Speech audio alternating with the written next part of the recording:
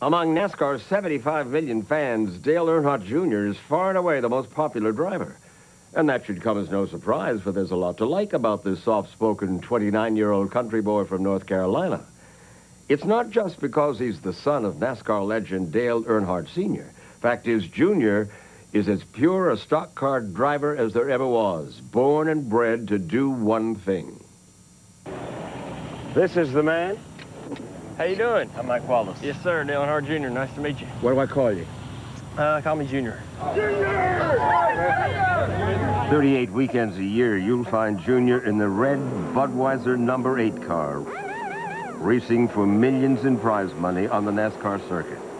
But it's not just the money he's after, it's the winning. Dale Earnhardt Jr. wins the Golden Corral 500. Something he's done four times this season alone, including NASCAR's biggest race, the Daytona 500 last February. Here he comes. To tell Junior's story, you must come here to Daytona Motor Speedway in Florida. It's our favorite venue for all the drivers. Why? Well, we start our season off here. It's kind of like our Super Bowl. We have ours, we kind of start our year off with a bang. Junior has a lot of history at this track, and to talk about it, he took me on a tour in this new Corvette at 120 miles an hour. Does this feel like 120? Doesn't it feel like interstate speed? Junior won the 500 here on just his fifth attempt, And the fans are going nuts in Daytona. something this man, his dad Dale Earnhardt Sr., won only once in 23 tries. Sr. was a seven-time NASCAR Cup champion, winner of 76 races, known as the Intimidator. But his career and his life ended at the 2001 Daytona 500. Driving his black number three Chevy, he was killed instantly when he hit the wall on turn number four during the last lap of the race. Are we going to turn four? Yeah, this is it right here. Junior was just a couple of hundred yards ahead of his dad in the race, and he saw the wreck in his rearview mirror. You came back some months after your dad died here?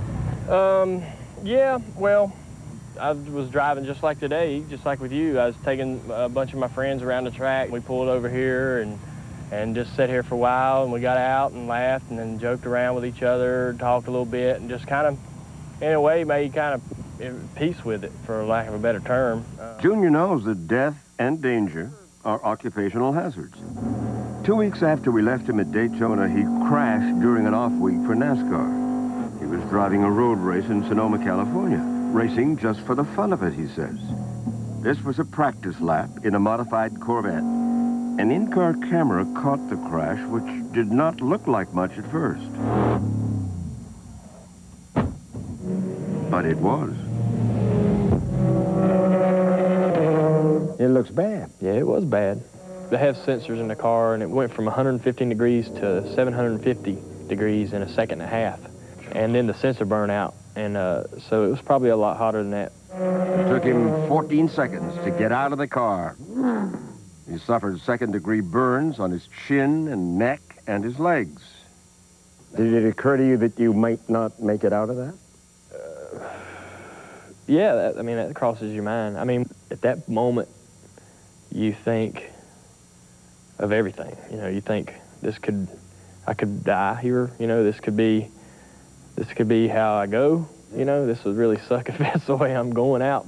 when you see that footage, it's, you know, it's pretty spooky to see uh, one of your buddies uh, on fire inside a race car like that. Champion driver Tony Stewart is one of Junior's best friends and fiercest NASCAR rivals. Is Junior the most popular driver in the circuit? Definitely, without a doubt. Why? I think it's his personality. I mean, I obviously some of it's his last name, but he's kind of grown out of the shadow of his father now. I mean, he had his own fan base when he came in, uh, but once his father passed on, those fans were left without a hero, and the natural, the natural pick to, to go to next was Dale Jr. And he's so much like his father that it was an easy minute, pick for those minute. people. There's nothing intimidating about Junior. Sure, there is. You you drive out there on the racetrack with him and, t- and tell me he's not intimidating at times.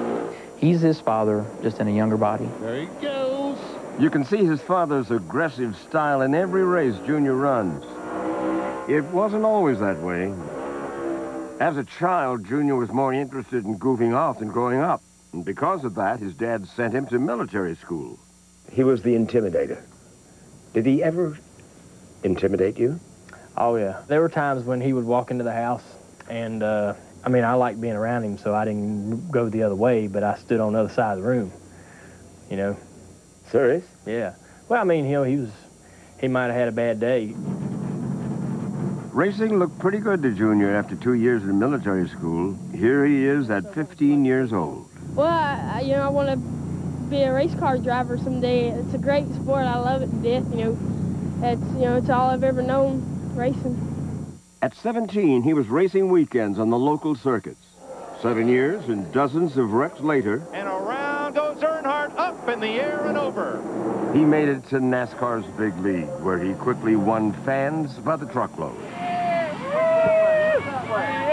We saw that for ourselves touring the infield at Daytona last July. Man, it's something else. Hey, Dale! Figure it out. Here, with his fans, he's as much a rock star as a racer. The fact is, he is one of them. If I wasn't racing, this is exactly what I'd be doing. Oh, yeah. I'd be running around here somewhere laid up in one of these pools. It's like a good time to me. You're serious? You, you just enjoy this lifestyle? Yeah, it's fun. I mean, I was going to races as a little kid. I'm a fan first. Yeah. You know. NASCAR fans are a special crowd. They reflect the sport's southern roots. Are NASCAR fans Republicans? Yeah. Are they white? Majority. It's changing more and more, but it's still, you know, you still go to the races and you still see the rebel flags in the infield. You still see, you know, the aggressive southeast a little bit at the racetrack. You still do, but Aggressive Southeast. yeah, What does you know, the, you know, the guy that still flies his rebel flag and and you know, pretty proudly. That's not you. That's not me, and it never really was me. Politically, though, Junior does side with a voting bloc known as NASCAR Dads. You're a Republican. You're in favor of George W. Bush to be reelected. And yet, you took your crew to see that Michael Moore picture. How come? Well, because Fahrenheit 9/11. yeah, I went to see that. I was. Why were you so um, curious to see it? Well, I just wanted to know, uh, you know, I, I like hearing both sides of the argument. Thought the movie was well done, but uh, my dad was a Republican. I'm a Republican, so you know, not that I came out of there going, I ain't voting for Bush again. You know, that didn't happen, and I didn't expect that to happen. I just wanted to go enjoy the movie because I knew Mike, Michael Moore would try to push a few buttons, and I just wanted to see how hard he mashed them. Ritz Crackers is a big one for you, yes? Junior's product endorsements add millions to his income. Forbes said he made $20 million last year, more off the track than on. But it takes a lot of money to build a NASCAR winner. This is the headquarters of Dale Earnhardt Incorporated, the facility his father built in Mooresville, North Carolina. They call it the Garage Mahal, home to 250 employees. Junior has some 15 versions of his car being built at any given time. Different cars for NASCAR's different tracks. Yeah, it's pretty crazy, ain't it? We got more cars than everybody probably imagines. Every time I bring somebody in here that's never been around a race shop, they don't expect to see so many cars. A few miles away from the garage is his new home. It's like a $90,000 modular home. You'd never know it. It's a beautiful house. He gets about four days a week here doing virtually, and I mean virtually, the same thing he does when he's away. He races. Okay, you're clear of pit lane. This is the track we're going to run this weekend. There is online racing. You can join pickup races. You get about, you know, 50 races. You get beaten often? Yeah. All time. And then there are his go-karts. He's number 55, that he and his buddies race on the track he built in his backyard. And he admits those toys often take a front seat to his love life. I was in the uh, in the bathroom here. Mhm. I don't know whether this belongs to you. Dating for dummies, yeah. We This all, is your this is your handbook. not my handbook, but it's, uh, I, I read it sometimes. Do you? Yeah, it's pretty comical. Tell me about you and dating. Me and dating, well, I ain't no good at it, but, uh, Why not? well, I ain't married, am I? If I was real, real good at it, I'd probably be married by now. Why aren't you any good at it? Because I like, I like racing. I like my job. And you don't want to give that up because a lady wants you home. Right. I mean, I look forward to getting married one day, and I like being in a relationship. I like, I like having a girlfriend, but I, you know, it seems to go for about three months, and gets it gets to a point to where they're trying to drive the boat instead of me. You know, I run the damn show. You know what I mean? You're the boss. Yeah, I'm the boss. Like his father, he's a man's man. To this day, three and a half years after his dad's death, the connection between Junior and Senior is downright spooky. You think your dad was watching when you ran into trouble at Sonoma? Uh, yeah. I mean, he would have to be. I think he had a lot to do with me getting out of that car. You do? honest with you, absolutely, absolutely. I don't know how else to put it.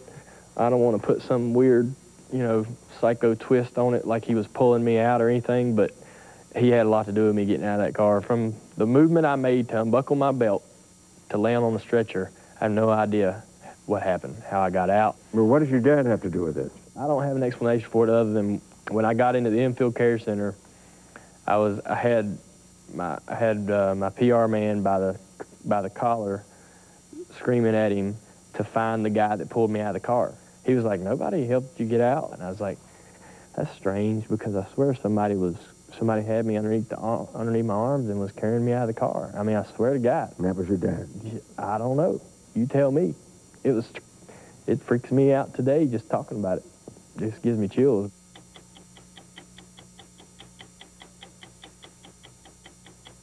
Coming up next, a Freedom Freight train heads toward the U.S. border, and Dan Rather is along for the ride.